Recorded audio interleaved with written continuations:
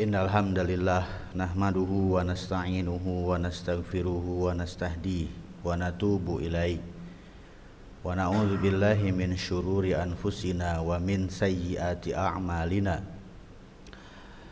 من يهده الله فلا مضل له ومن يضلل فلا هادي له وأشهد أن لا إله إلا الله وحده لا شريك له وأشهد أن محمدا عبده ورسوله لا نبي بعده.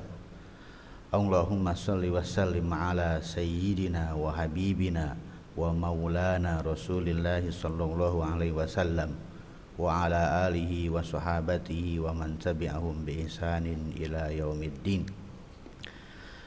Qala Allah Ta'ala fi kitabihil karim A'udhu billahi minasyaitonir rajim. Bismillahirrahmanirrahim. Ya ayyuhalladzina amanu taqullaha haqqa tuqatihi wa la tamutunna illa wa antum muslimun.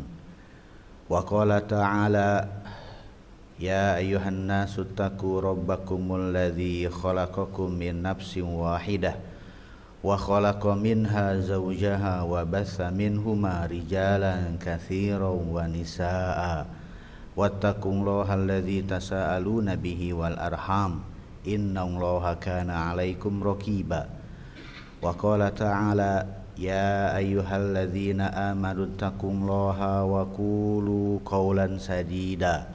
Yuslih lakum a'malakum wa yaghfir lakum dhunubakum ومن يطع الله ورسوله فقد فاز فوزا عظيما أما بعد فإن أصدق الحديث كتاب الله وخير هدي هدي محمد صلى الله عليه وسلم وشر الأمور محدثاتها فإن كل محدثة بدعة وكل بدعة ضلالة وكل ضلالة في النار Jamaah Jumaah rahimanillahu wa iyyakum.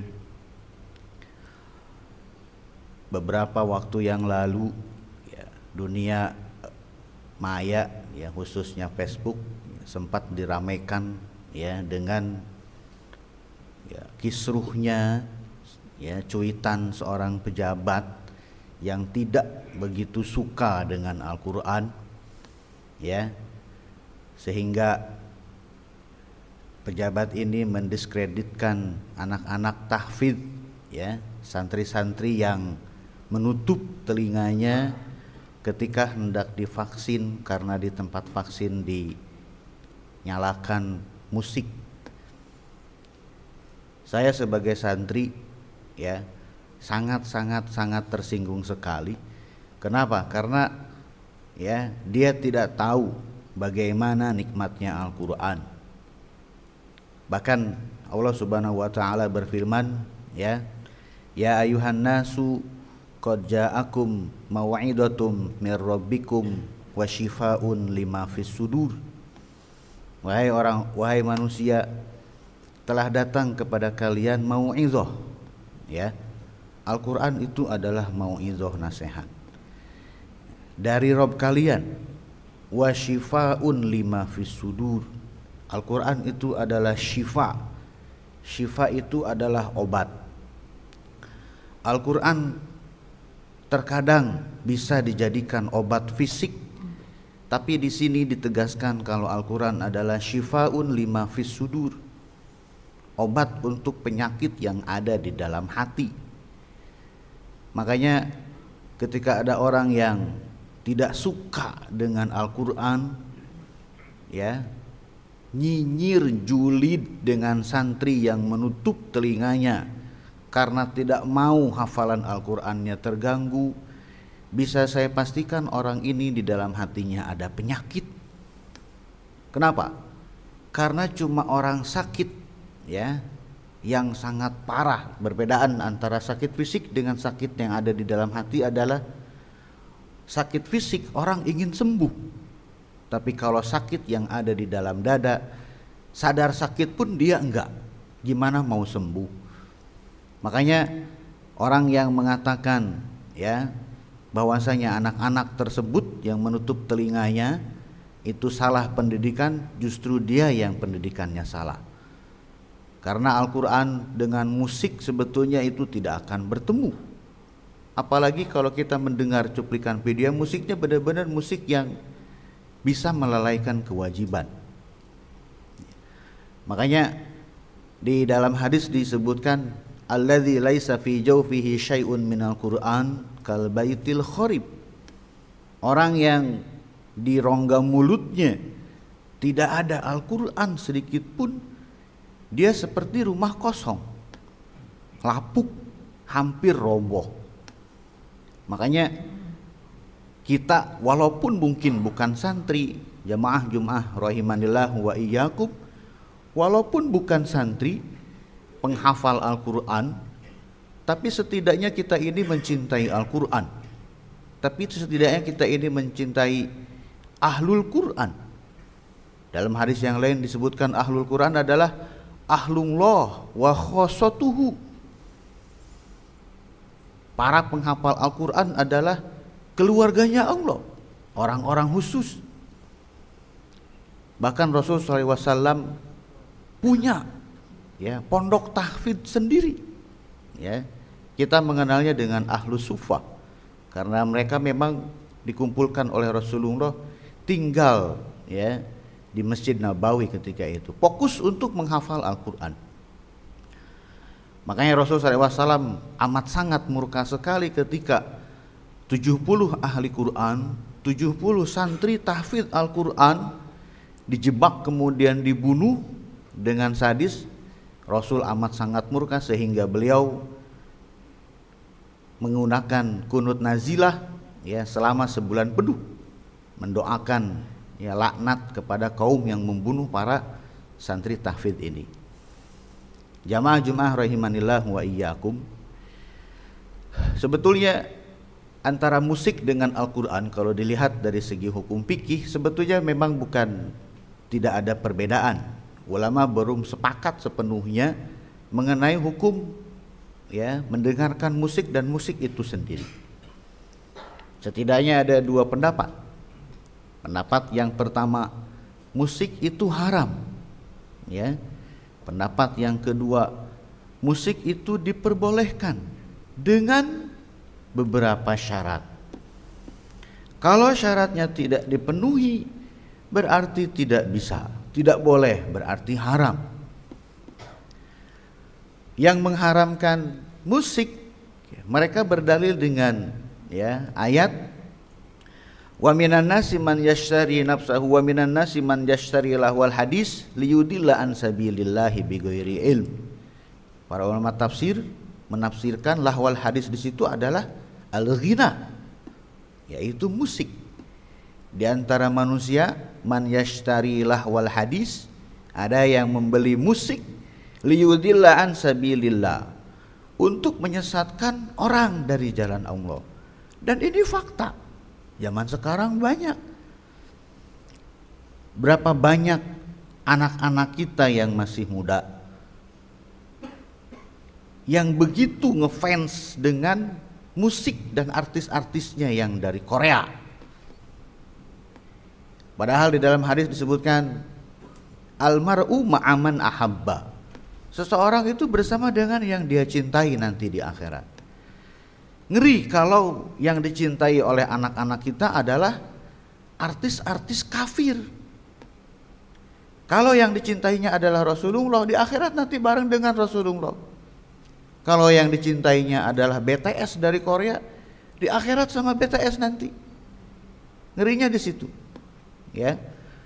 Makanya musik ini memang jualan yang gak pernah habis. Musik dan makanan ini selalu menjadi senjata untuk menyerang kaum muslimin. Musik, film dan seterusnya. Nah, berdasarkan ayat ini maka para ulama tafsir ya mengharamkan yang dimaksud dengan lahwal hadis di situ adalah musik, maka jelas musik ini hukumnya menjadi haram. Kemudian ya di hadis yang lain disebutkan layakunanna min ummati aqwamun yastahilluna al-hir wal harir wal khamr wal.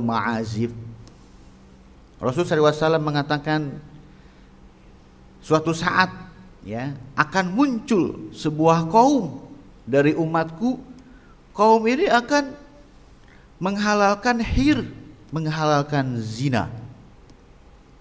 Sudah ada sekarang? Sudah ada sekarang menghalalkan zina? Ada. Mudah-mudahan tidak ada di negara ini. Tapi mengarah ke sana mungkin ada. Karena hukum di negara kita itu banyak celahnya. Wal harir menghararkan, menghalalkan harir sutra untuk laki-laki. Laki-laki dilarang memakai sutra kecuali ada alasan medis baru boleh memakai sutra. Perempuan silahkan memakai sutra. Wal khomer dan menghalalkan khomer. Ini di sini banyak di Indonesia di beberapa daerah. Khomer adalah kearifan lokal. Ini menghalalkan khomer. Rasul sudah memprediksinya. Dan yang terakhir menghalalkan ma'azif. Ma'azif adalah alat musik alat musiknya halal berarti musiknya halal. Oleh karena itu, karena di sini adalah larangan, bentuknya khobar tapi maksudnya adalah larangan. Maka semua empat hal di sana itu hukumnya adalah haram. Adapun yang membolehkan musik, mereka juga punya dalil. Ya, mereka punya dalil. Kalau dilihat dari segi fikih luwes. Ya, Tinggal kita mau pilih yang mana. Ah, saya ingin pilih pendapat yang membolehkan musik. Silahkan. Hadisnya ada. Tapi syaratnya juga harus dipenuhi. Ya. Di antara hadisnya adalah kisah mengenai dua orang budak wanita zaman Rasulullah. Ketika itu bulan, ketika itu sedang Id. Kemudian merayakan Idnya itu dengan bernyanyi ya dengan duf alat musik. Kemudian Abu Bakar masuk, ya, Abu Bakar tidak terima karena Abu Bakar termasuk orang yang tegas dalam masalah musik. Amazamiru syayatin fi baiti Rasulillah. Apakah di rumah Rasulullah ada alat musik? Tidak terima Abu Bakar. Kemudian Rasul mengatakan ini Eid. Wahada Iduna, ini Eid kita. Jadi diperbolehkan momennya adalah momen-momen tertentu. Ketika Id misalkan. Kemudian di kisah yang lain ada seorang perempuan yang bernazar untuk bernyanyi dan memainkan musik jika Rasul SAW kembali dari medan perang. Ya Rasulullah ini nazartu in raddaka saliman. Ya kalau Allah mengembalikan engkau dari medan perang dalam keadaan selamat ya adribu maka ya saya akan adribu duf wa tagonna maka saya akan memukul duf ya dan bernyanyi. Kemudian Rasul mengatakan in nazarti fadribi wa illa fala. Kalau bernazar silakan ya kalau enggak ya enggak dengan hadis ini sebagian ulama membolehkan musik dan mendengarkan musik. Tapi di situ ada syaratnya. Ya, di antara syarat-syarat mendengarkan musik adalah yang pertama tidak ada kemaksiatan yang nyata di dalamnya. Coba lihat, ketika kita mendengarkan musik, ada kemaksiatan gak di dalamnya? Kemaksiatan dari segi lirik lagunya. Ya, Lirik lagunya mengandung kemaksiatan enggak? Wah, lirik lagunya ini vulgar. Jangan, berarti maksiat. Oh, ini lirik lagunya membangkitkan semangat keislaman. Silakan. Ya, walaupun saya lebih memilih untuk tidak mendengarkan musik. Seperti yang saya sampaikan, musik dengan Al-Qur'an itu enggak ketemu. Al-Qur'an itu air, musik itu minyak. Nggak bakal pernah ketemu. Ya nggak akan ketemu. Kalau yang mengatakan yang mengambil musik itu boleh cek syarat-syaratnya. Ada kemaksiatan nggak di situ? Oh ini musiknya pakai bahasa Inggris. Cek. Jangan ya mentang-mentang nadanya enak kemudian kita mendengarkan kita tidak tahu liriknya. Karena kita nggak ngerti bahasa Inggris. Ketika dicek ternyata mengandung lirik-lirik kemusyrikan Kemudian syarat yang kedua ya, tidak menimbulkan fitnah. ya, tidak menimbulkan fitnah. Kalau dengan mendengarkan musik kemudian terjadi fitnah, maka tidak boleh. Contoh misalkan kita mendengarkan ya musik, kita diundang di sebuah undangan, kemudian ada musik di situ. Kemudian ada biduanitanya. Bajunya seksi, fitnah itu. Ya. Kemudian bahkan sebagian ada yang sampai joget-joget, senggol, bacok, berantem, fitnah lagi. Yang seperti ini jangan. Ya. Kemudian yang ketiga syaratnya adalah yang paling berat, tidak melalaikan dari kewajiban. Ketika kita mendengarkan musik, kewajiban ya kepada uh, hablum minallah dan hablum minannas hubungan kita dengan Allah itu memiliki kewajiban. Hubungan kita dengan manusia juga ada kewajiban ya. Kita punya kewajiban untuk menyelesaikan kerja kita.